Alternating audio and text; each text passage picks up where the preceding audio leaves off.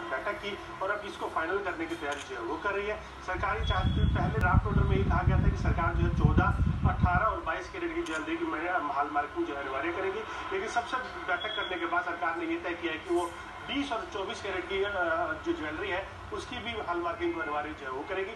यानी कि सरकार इसको अप्रैल में लागू करने की तैयारी जो है वो कर रही है अप्रैल में के बाद जो अभी आप सोना खरीदेंगे, आपको उसकी शुद्धता की गारंटी जो है वो मिलेगी। चाहे आप चौदह कैरेट का खरीदिए, चाहे आप चौबीस कैरेट का सोने का भूषण जो है वो खरीदिए तो आप उसके ऊपर हल मार्किंग जो है आपको मिलेगी, जिससे आपको ये प्रत्यय हो जाएगा कि ये सोना जो है पूरी तरह से शुद्ध है तो सरकार इसको चरणों में लागू करने की तैयारी जो है वो कर रही है। इसके लिए सरकार ने इकतीस सितंबर 2019 की डेडलाइन जो है वो रखी है, जिसमें कि सारे एक सिटीज़ के अंदर हाल वॉकिंग के भूषण जो है वो बेचे जाएँगे। उसके बाद 2020 तक सरकार इसको पूरे देश के अंदर लागू जो है वो करेगी।